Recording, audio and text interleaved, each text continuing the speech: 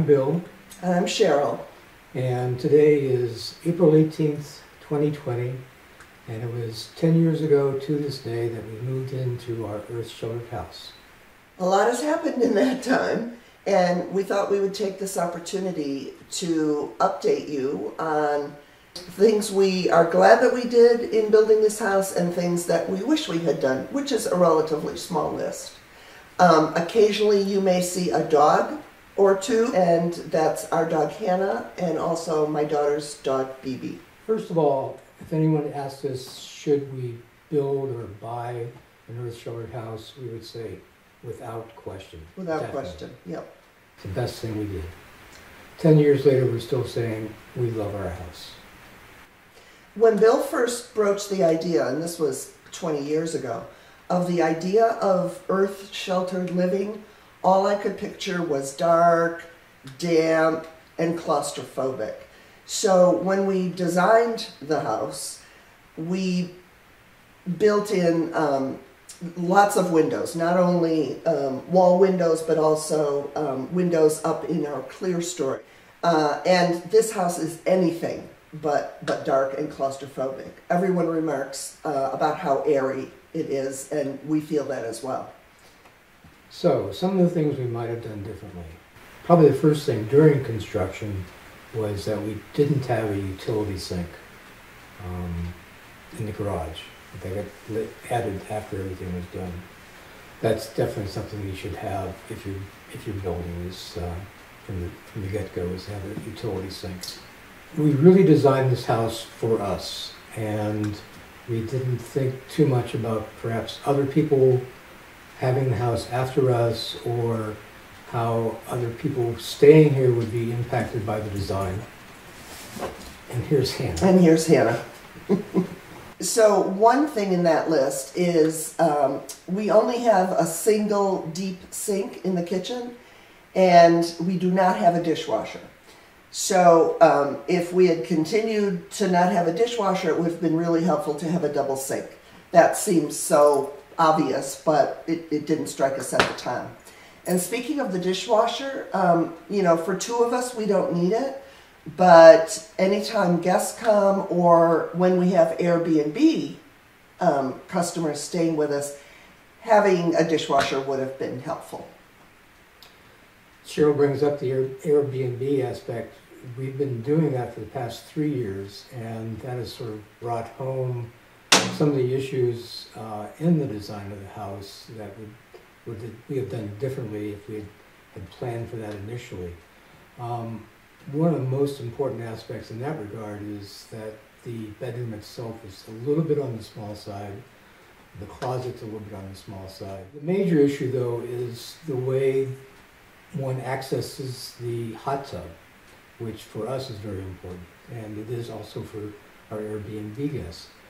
Um, right now, the only way to access it is either going out through the, the main doors uh, and down the side of the house, or through our bathroom and bedroom, and then through the screen porch, um, which we've had to um, resort to when it's foul weather and, and it's just uh, a lot easier for people to access the tub that way. Another thing that we've noticed is that we we thought we thought we had a lot of storage um, space in this house, particularly because we have a freestanding three bay garage with a huge attic over it, but we don't really have um, enough storage in the house. So somewhere building a large uh, two sliding door linen closet um, would have enabled us um, it, to store more things that we use more regularly right in the house. Another design flaw, if you can call it that, was the way that we have our laundry room situated. Uh, the pictures will that you'll see will show how it's accessible directly from the main area of the house uh, through the two uh, folding doors. Um, if we were going to do it again, I think we would have made that a solid wall and had the laundry room access through our bedroom instead. Having a, a relatively more isolated laundry room not only would have kind of cut down on the noise in the in the living area, But I think then we could have actually incorporated another utility sink um, in the laundry area. Ah, the radiant heat. So you'll notice in the video that we do have a um, beautiful fireplace stove insert and a huge rock chimney. Um, it's been incredibly energy efficient. Um, depending on um, the particular winter conditions, we've been able to heat the whole house by passive solar through our south facing large sliders um, with supplemental heat, usually at night through the fireplace. Two and a half, three cords of wood a year. When we built the house, we wanted to have a more traditional heat source um, available, and so we do have radiant heat in the floors. Um, we've never, uh, until recently, we've not used that heat source. Um, Byll just started heating the greenhouse a little bit in the winter.